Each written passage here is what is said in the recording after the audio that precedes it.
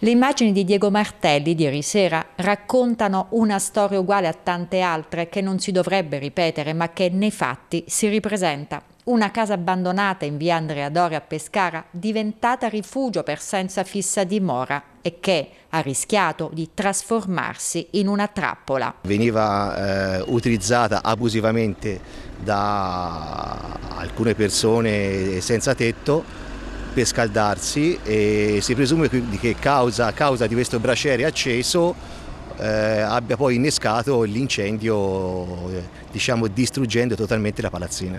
Erano in quattro al massimo, racconta un residente, ad usufruire della struttura, per fortuna assenti ieri sera, e che oggi si ritroveranno senza nemmeno quel riparo. Il fabbricato eh, in questione era abbandonato almeno da 20 anni, noi abbiamo fatto anche dei sopralluoghi con la Polizia Municipale eh, negli anni scorsi facendo anche diffide ai proprietari per la messa in sicurezza delle strutture e dei fabbricati.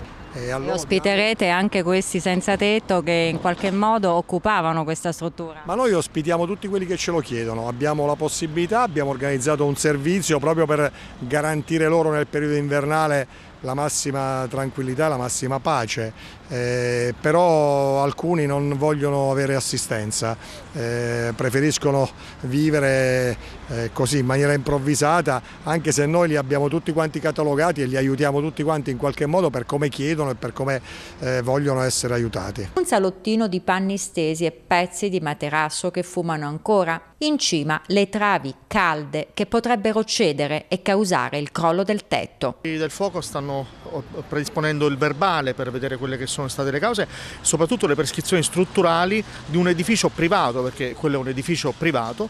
Non appena saranno chiuse queste, questo verbale sarà trasmesso molto probabilmente alla pubblica incolumità ufficio comunale eh, che ovviamente potrà adottare eh, dei provvedimenti, eh, delle ordinanze eh, di eventualmente di demolizione anche dell'immobile qualora ovviamente la struttura fosse diciamo, pericolosa per la pubblica incolumità. In attesa delle sorti definitive del fabbricato l'amministrazione ribadisce i progetti di riqualificazione del PP2 che riguardano un'area che si estende su circa 50.000 metri quadrati, una superficie che da troppi anni attende una definizione urbanistica e che vedrà presto la luce.